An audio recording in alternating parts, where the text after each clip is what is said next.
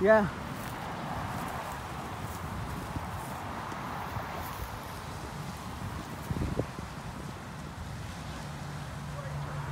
Yes.